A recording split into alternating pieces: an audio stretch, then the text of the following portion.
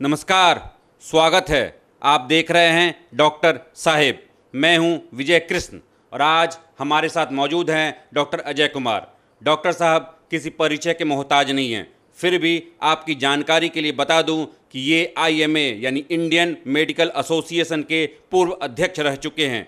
इसके अलावा ये यूरोलॉजी सोसाइटी ऑफ़ इंडिया के भी पूर्व अध्यक्ष रह चुके हैं।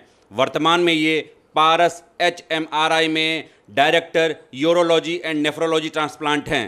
इसके अलावा पाम व्यू अस्पताल में भी ये consultant director urology and nephrology हैं। बहुत बहुत स्वागत है डॉक्टर साहब आपका हमारे चैनल धन्यवाद। डॉक्टर साहब पिछली वीडियो में आपने बताया था कि कि पारस एचएमआरआई में एक मेंस क्लिनिक भी चलता है जिसमें सेक्स के सम, सेक्स से संबंधित समस्याओं का समाधान किया जाता है। तो इसमें महिला और पुरुष दोनों आजकल आपके पास आते होंगे। तो अभी जो लाइफ स्टाइल चल रहा है, अभी जो बीमारी लोगों में हो रही है, जैसे डायबिटीज़ है, और ऐसी कौन सी बीमारी है जिससे लोग, लोगों में सेक्स के प्रति अनिच्छा हो रही है और इससे बेडरूम कलह की भी वृद्धि हुई है? ये प्रश्न तो बड़ा ही माकूल है और अभी आज के परिप्रेक्ष्य में ये बड़ा ही अच्छा प्रश्न है। इस पर मैं पहले भी बोल चुका हूँ। तो आज आपने मेंशन किया कि साहब पारस एचएमआरआई हॉस्पिटल में मेंस हेल्थ क्लिनिक है और वहाँ आप लोग इस तरह की समस्याओं के लिए को लेकर उनका मैनेजमेंट करते हैं। तो मेरे हिसाब से मैं थोड़ा सा बैकग्राउंड में रखूँगा अपना मेंस हेल्थ क्लिनिक और उसी में मैं बात करूँगा ये सेक्सुअल वीकनेस की जिसको कहते हैं। तो सबसे पहले ये समझने की ज़रूरत है कोई भी सेक्सुअल एक्टिविटी के लिए सबसे पहले लिबिडो होना चाहिए। लिबिडो का मतलब हुआ इच्छा होनी चाहिए। तो लिबिडो पाँच, कई स्टेजेज हैं। लिबिडो होगा तो इरेक्शन होगा इरेक्शन होगा तो पेनिट्रेशन होगा पेनिट्रेशन होगा तो इजाकुलेशन होगा। ये सारे स्टेज में कहीं भी कोई गड़बड़ी हो तो उसको कहते हैं सेक्सुअल वीकनेस तो अब आ, मैं एक एक करके शुरू करता हूँ कि अनिच्छा सेक्स के प्रति होना। तो दो तरह की अनिच्छा हो सकती है। एक तो अनिच्छा इसलिए हुई कि साहब वो व्यक्ति जो जो उसने कभी किसी को बताया नहीं और उस व्यक्ति में जो पुरुष के ग्रंथियाँ होती ही हैं, उसका विकास नहीं हुआ है ठीक से। और जो पुरु- पुरु- पुरुष में शिश्न होता है, उसमें विकास नहीं हुआ है, ये हुआ है। तो इसमें एक बात और मैं बताता हूँ। शिश्न के साइज़ जो तो को पेनिस के size has nothing to do with the sexual activity and sexual satisfaction of the partners ये जानना बहुत ही ज़रूरी है। क्योंकि बहुत लोग कहते हैं कि मेरा पेनिस बहुत छोटा है, उसका बहुत बड़ा है, हम लोग पेशाब करते हैं तो देखते हैं तो उसका पेशाब बहुत बड़ा है, जो यंग लोग आते हैं हमारे यहाँ। तो उससे कोई मतलब नहीं है। हाँ अनयूजुअली छोटा हो, जिसके बारे में बता रहा हूँ तो हो सकता है कि उनको हार्मोन की समस्या हो और बाकी समस्या हो, उस विषय पर मैं नहीं जाऊँगा, वो अलग से उस पर मैं डिस्कस करूँगा। तो अनिच्छा में एक वो हो सकता है कंजेनिटल प्रॉब्लम दूसरी चीज़ हो सकती है कि उस व्यक्ति को ऐसा लगता है कि उसका अपना, अपने अंदर का जो सेक्स की इच्छा का ये ये है मैंने सेक्स की इच्छा होनी चाहिए, उतनी नहीं हो रही है, उसका, उसके कई कारण हैं। एक कारण तो बड़ा इंटरेस्टिंग है।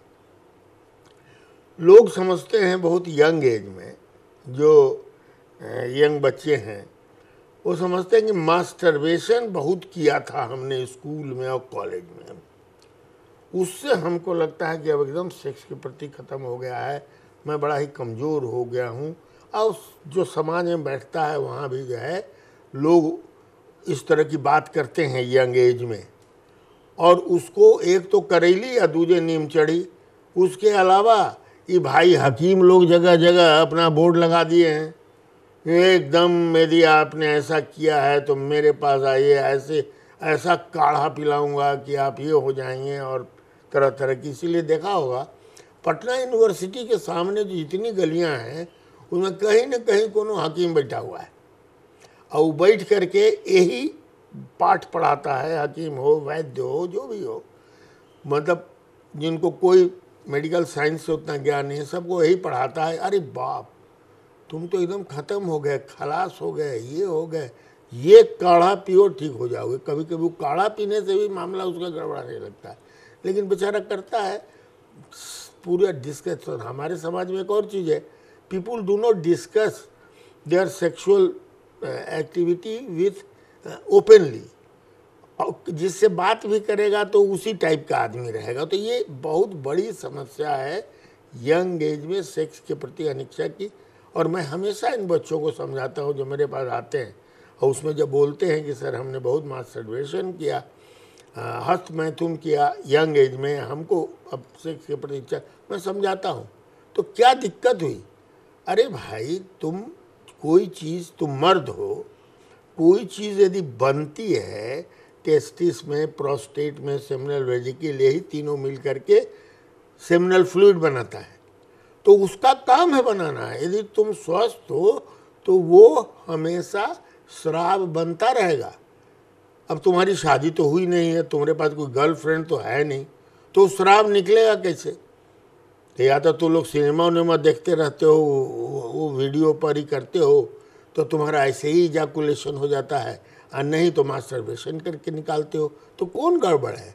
यदि आँसू बनता है आँख में तो आँसू निकलेगा ना जी? नाक में नेटा यदि बनता है तो नेटवा निकलेगा ना? यदि सलाइवा बनता है तो सलाइवा निकलेगा ना? तो वही प्रक्रिया इसमें भी है, उसके लिए चिंता करने की अब एकदम ही आवश्यकता बच्चों को, मैंने यंग लोगों को नहीं होनी चाहिए। कभी कभी मैं मज़ाक में करता हूँ तो अच्छा ठीक है, थोड़ा सीमेंट निकलता है, तुम आज सर्वेशन से निकाल देते हो। ये वो काम करें तुम्हारा दोनों को उड़िया काट देते हैं। अब महीना शुरू करा दे तुम्हारा। तो कहे कि ना, वो तो औरत के होता है। तो जैसे औरत बर्दाश्त करती है हर महीने, उसको एक बार मानसिक धर्म हो, मासिक धर्म होता है, उसी तरह से तुम्हारा भी ये फिजियोलॉजिकल फेनोमिनन है। इसके लिए टेंशन सी लेते हो जी। बहुत सा तो इसी में मान जाता है, कहता है, जी अच्छा। आएगा तो थोड़ा एंटी डिप्रेशन दे देते हैं, वो मस्त हो जाता है। तो ये एक बहुत बड़ी समस्या है यंग लोगों में। दूसरी समस्या क्या है कि यंग और मैंने ऑब्ज़र्व किया है, अभी इस पर पूरा स्टडी नहीं हुआ है, जो यंग आईटी प्रोफेशनल्स हैं, पता नहीं इतना मशगूल रहते हैं, पैकेज के फेर में इतना न कंप्यूटर के सामने दिन रात पड़े रहते हैं, दिन रात उसी में लगे रहते हैं। सवेरे से शाम तक रात रात भर सब काम करता है। सवेरे से जाके सोता है दो दो, चार, पाँच घंटा। ये बड़ा यूजुअल फेनोमिनन आजकल हो गया है। और ये यूजुअल हो गया हमारे मेन सेंथ क्लिनिक में ऐसे बहुत लोग अब आ रहे हैं कि सर मेरी तो कुछ लोग की तो शादी हो जाती है। आईटी वाली से शादी हुआ, चाहे बहुत इंटेलिजेंट लड़की से शादी हुआ, शादी हो जाती है। और शादी के बाद आते हैं कि सर, मेरी वाइफ तो बहुत नाराज़ रहती है, हमारा सेक्स की इच्छा ही नहीं होती है। कारण है, अब एक रिसर्च करने की ज़रूरत है। थोड़ा हुआ है, लेकिन होता ऑथेंटिक नहीं हुआ है, कि क्या कंप्यूटर पर हमेशा बैठे रहने से उससे जो जैसे आजकल मोबाइल के बारे में हुआ है, बहुत तरह की बात आई है, हमेशा मोबाइल इस्तेमाल करने से और क्या होता है, प्रभाव पड़ता है। तो ऐसा नहीं है कि, ऐसा नहीं कि कंप्यूटर के सामने 24 घंटा में 16 घंटा यदि बैठा हुआ है आदमी तो क्या उसका भी प्रभाव है? और ये बीमारी बहुत ज़्यादा बढ़ती जा रही है आईटी वालों में। या तो अच्छा जब तक वो शादी नहीं करता है या गर्लफ्रेंड नहीं रहती है तो ही इज़ नॉट वरीड वो तो अपना काम में मशगूल है, पैकेज कितना का मिल रहा है, जितना बड़ा पैकेज उतना काम करेगा। लेकिन जब गर्लफ्रेंड उसको मिल जाती है, वहाँ प्रॉब्लम होने लगती है या उसकी शादी हो जाती है प्रॉब्लम होने लगती है, तब हम लोग के पास आता है। हम लोग उसको इन्वेस्टिगेट करते हैं। Sometimes there are psychological problems also वो हम लोग देखते हैं। फ़िज़िकल प्रॉब्लम्स जो है, अब यहीं पर सारी बात बता देता हूँ कि फ़िज़िकल प्रॉब्लम जो होता है, जैसे कि उसका जो सेक्सुअल ऑर्गेन्स है, उसमें कोई डिफॉर्मिटी नहीं है, गड़बड़ी तो नहीं है, उसको अंदाजे नहीं है। कि उसका सेक्सुअल जो है, सो ये जो पेनिस है, वो बचपने से पैदाइशी मुड़ा हुआ था। छेद उसमें नीचे था पेशाब करने का। वो अपना कर रहा था, कोई प्रॉब्लम नहीं है। He is not bothered about it लेकिन जब उसकी शादी हुई गर्लफ्रेंड ने तो बोले कि ये क्या? अब तो तुम सेक्सुअल एक्टिविटी कर ही नहीं सकते हो। तुम्हारा मुड़ा हुआ है। अब वहीं से उसका डिप्रेशन शुरू होता है और बाकी चीज़ होती है। तो इन सब चीज़ों को फ़िज़िकल एग्जामिनेशन हम लोग कर लेते हैं। उसके बाद कुछ बीमारियाँ जो हैं, यंग एज में भी हो जाती हैं। अब यंग एज को डायबिटिक हो गया। उसको नहीं पता है। यंग डायबिटिक है। अब डायबिटीज़ तो अनिच्छा पैदा करता है वो तो हर ऑर्गन को इफ़ेक्ट करता है, इसलिए डायबिटीज़ में यदि अनकंट्रोल्ड है तो वो सेक्स के प्रति अनिच्छा प्र- प्रकट करता है। दूसरा, यंग एज में हाइपरटेंशन हो गया। यंग हाइपरटेंशन कभी कभी किडनी के गड़बड़ी के वजह से होता है और कई गड़बड़ियाँ हैं। ऐसे हाइपरटेंशन ज़्यादातर तो नहीं पता रहता है हम लोगों को 80 परसेंट हाइपरटेंशन का क्या कारण है ये नहीं पता होता है, लेकिन यंग एज का जो हाइपरटेंशन है, उसको हम लोग बहुत ही केयरफुली एग्जामिन करते हैं कि कहीं किडनी में तो कोई प्रॉब्लम तो नहीं है क्योंकि kidney hyper blood pressure control करने का वन ऑफ़ द ऑर्गन्स है। सुप्रारिनल में तो प्रॉब्लम नहीं है और ब्रेन में कुछ ग्रंथियाँ उसमें प्रॉब्लम नहीं, वो करते हैं। तो हाइपरटेंशन एंड डायबिटीज़ को हम लोग ज़रूर रूल आउट कर देते हैं। उसके बाद उसके सेक्सुअल हार्मोन्स को चेक करते हैं और उसको देखते हैं। एक बात यहाँ बता दूँ। कई बार हमारे यहाँ मरीज़ आता है, सर, वो कहीं से कर लिया, वो आजकल ये लैब सब जो है ना, वो वो पैकेज देता है। अब लोग को तो बुझाता नहीं, पूरा व्यवसायिक चीज़ है, हमको जोन का ज़रूरत नहीं है, उसको फालतू जाँच काहे करावे। अब वो कहेगा लैब वाला है आपका इतने रुपया में, अरे ब्लडवा तो सैंपल उतने लेता है। अब मशीन में आजकल होना है तो मशीन में एक बटन दाबिए तो हो या छः बटन दाबिए तो उसका खर्चा तो उतने हैं। तो वो कह देगा कि हम आपका सब टेस्ट वे कर देंगे। अब उसमें टेस्टोस्टेरोन का टेस्ट कर देता है। अब टेस्टोस्टेरोन का लेवल उसका आ गया 160 मिनिमम होना चाहिए अढ़ाई सौ। जनरली रहता है सात सौ आठ अब वो लगा बौड़ाया अल्लाह, हमारे तो टेस्टोस्टेरोन में बॉडी में नहीं बन रहा है। अब हम जो है तो सेक्सुअल वीकनेस उसको मानसिक रूप से होने लगता है। लेकिन मैं यहाँ पर एक डिक्टम दे दूँ। The level of testosterone has nothing to do sexual activity of the person. उससे सेक्सुअल वीकनेस या अनिच्छा होने से उसको कोई मतलब है? उसको जहाँ उससे मतलब है, वो बाद की बात है। वो वो, उसके बारे में हम डिस्कस नहीं करेंगे। लेकिन ये जो दिमाग में वो टेस्टोस्टेरोन कम है, इसलिए हमारा सेक्सुअल एक्टिविटी कम होगी, ये सही नहीं है। इसको दिमाग से निकाल देना चाहिए। जब तक कि एकदम ऐसा न टेस्टोस्टेरोन का लेवल ज़ीरो हो, पचास हो, चालीस हो तो ये दूसरी बात है। तो ये कारण है। तो जैसा हमने बताया कि यंग एज में ये सब कारण हो सकते हैं। और मैं बता रहा हूँ, इधर बाढ़ आ गई है हमारे मेंस हेल्थ क्लिनिक में, आईटी प्रोफेशनल्स की। Marriage marital disharmony. और कई बार तो ऐसा भी हुआ है कि अब बेचारा वो आया शादी करके। अभी कई मरीज़ हमारे मेंस हेल्थ क्लिनिक में हैं, जो शादी किया, लौट, तुरंत आ गया दो तीन दिन के बाद, चार दिन के बाद। मेरी वाइफ तो चली गई। अरे क्यों चली गई भाई? हमारा कोई सेक्सुअल डिज़ायर नहीं होता है। हम के डिड सी ट्राई हाँ वो बोलती है कि हम वो तो ट्राई की, हमको नहीं होता। तो ये बड़ी खतरनाक स्थिति आ गई है मॉडर्न टाइम में। इस पर विचार करने की ज़रूरत है। इसमें हम लोग करते क्या हैं? जिस वाइफ का सहयोग है और मर्द फिजिकली स्टेबल है, ठीक है? तो हम लोग काउंसलिंग करते हैं मेंस हेल्थ क्लिनिक में। हमारे साइकोलॉजिस्ट हैं।